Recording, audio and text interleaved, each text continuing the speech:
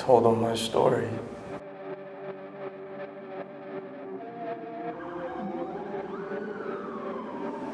He just didn't get it. Coming home from a war that you don't feel morally justified being a part of, it's not easy to live with. They don't even know that we're watching him die. Thank you for your service.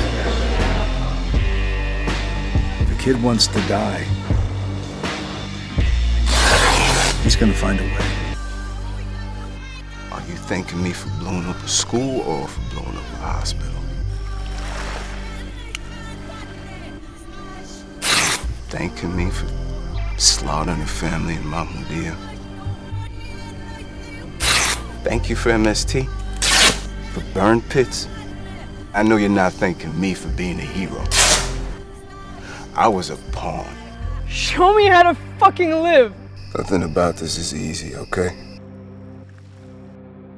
You think you could tell me your story?